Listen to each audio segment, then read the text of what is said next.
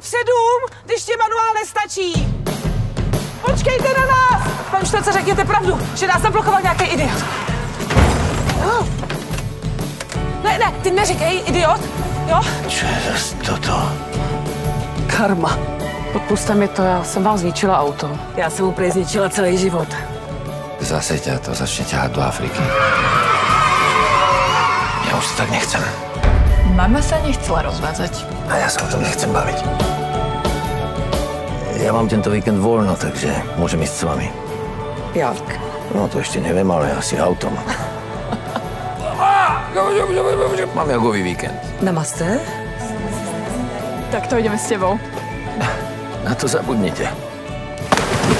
Na Havaji to bylo větší. Věč, jaký to bylo dražší, že jo?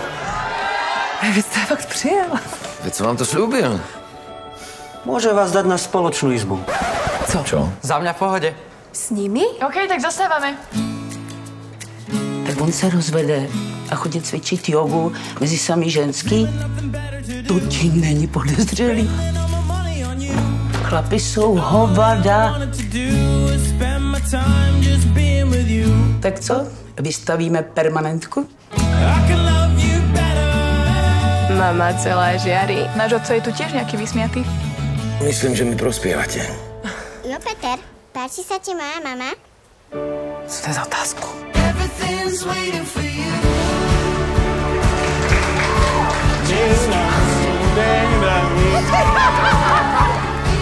Poďme súťažiť!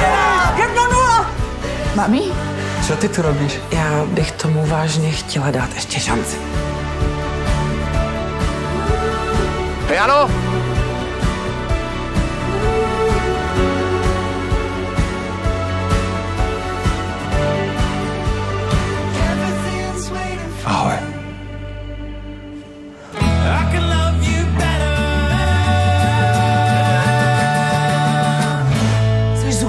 Nebo co? Co jsi mu tady vykládala? Sama si říkala, že nechceš rozbíjet rodinu, která má šanci dát se zase dohromady. No, tak teď už ji nerozbiješ.